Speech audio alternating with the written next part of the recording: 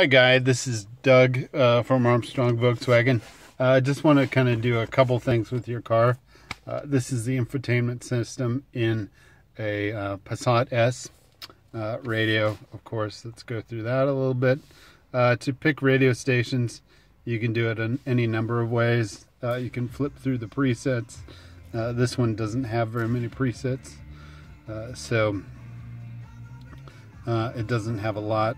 Um, the other way you can tune, tune the radio is to do it manually with the, your finger in that little section there. Uh, easy way to do it. Uh, there's an SD slot here.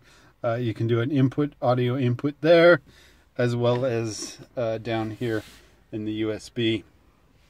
Uh, you can also charge your phone as well from that same message. Uh, one other thing with the um, with the car too, you can actually there's a CD player right there, uh, reading CD, and then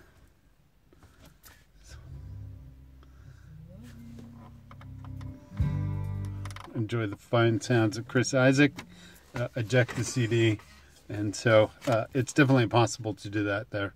So uh, let me know if you have any questions. That's just the audio portion. Uh, if you want to uh, set up the other things, uh, that's how you do the Bluetooth. Uh, Anthony, my coworker, and I were discussing uh, your situation with the Bluetooth, uh, or you know, syncing the phone, uh, and I have suggestions on how to do that as well. So probably give me a call and we can walk through that. otherwise, let me know if you have any questions. thanks.